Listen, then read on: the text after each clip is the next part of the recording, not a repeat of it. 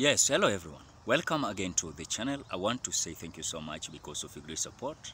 I'm so much humbled for your continuity to support the analysis of this channel. Now, the big mistake that William Samoei Ruto did was to outwit his boss, that is Uhuru Kenyatta, who is the president of the Republic of Kenya. I think what William Samoei Ruto did, he is now regretting. And in, in a matter of fact, it is irreversible. Whatever Uhuru Kenyatta is trying his best to ensure is that to make William Samaruto not to be the president of the Republic of Kenya. Because of after this all kind of issues came out, where William Samuruto and certain uh, members from Mount Kenya region ganged up against Uhuru Kenyatta's government, claiming that the government of Uhuru Kenyatta was failure to Kenyans at large, that whatever they promised to the people was not fulfilled according to the way they were expecting. So Kenyans, I don't think if the decision that William Samoei Ruto made to go and destroy the name of Uhuru Kenyatta in Mount Kenya region, in fact in his backyard, was a good decision that he was looking for, for succession when it comes to this politics of 2022. As a matter of fact, you see that uh, uh, William Samaruto is regretting for outwitting his boss, that is Uhuru Kenyatta. That if he could have not outwitted his boss, this race could have been easier for him. But because of that continuity, of continuing to sideline Uhuru Kenyatta and sabotaging everything that Uhuru Kenyatta is doing, is making William samurto as if is a person that is not sure when it comes to this general election and also he is panicking. Because this action and repercussion that is waiting for William Samoei Ruto is after he started taking credits to the success, success of uh, Jubilee government, but is, is, uh, is disregarding himself and um, not associating himself with the failures of Jubilee Party. And that is why you see that Uhuru Kenyatta, when he addresses the congregation or any crowd, you always say that William Samoei Ruto has been a person and also a person that was elected with him in the same ticket, but has failed him terribly by not offering uh, his mandate as the way the constitution uh, I don't know, as uh, by the way they agreed. So whatever is remaining now, and the way you can see ground is uh, doing, is that repercussion is now starting to come out, where William Samoei Ruto is feeling like the ground is now shifting.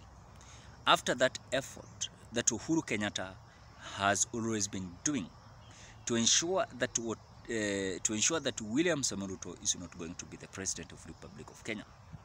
And of course, even you can see the signals that is coming from Uhuru Kenyatta is, to, showing the true reality that if William Samoei Ruto is going to be elected as the next president of Republic of Kenya, with of course his brigade, that is uh, people like Rigathi Gachagua and others, they are going to bring down this country.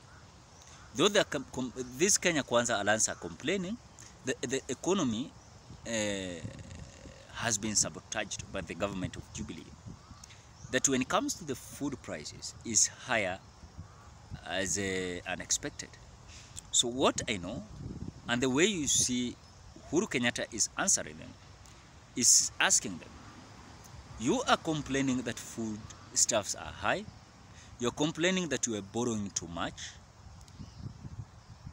why can't you come and give us a solution or even advice so that we can see what next. But as per whatever is happening to William Samoei Ruto and their brigades, they are trying to outshine their boss Uhuru Kenyatta, but again to get credits from the success of Jubilee Party government. So what we know, politically speaking, is that the person that is waiting for the severe repercussion that either will mold his political career or destroy his political career, this is none other than uh, William Samoei Ruto. Because what I understand, Uhuru Kenyatta is not happy man and politician and as the president of Republic of Kenya, the way William Samoei Ruto has done everything and has already made his backyard to reject him terribly. And of course, whatever William Samoei Ruto did that made William Samoei Ruto uh, uh, as an angry man is that uh, he has maintained to tell the Mount Kenya region people, who is the people of Uhuru Kenyatta, that Uhuru Kenyatta is not a good person, that he has failed them when it comes to development of Mount Kenya region. So Kenyans, whatever William Samoei Ruto has done when it comes to outwitting his boss, that is Uhuru Kenyatta, is not easy for him. And actually, if this is going to make William Samoei to fail, he is already failing.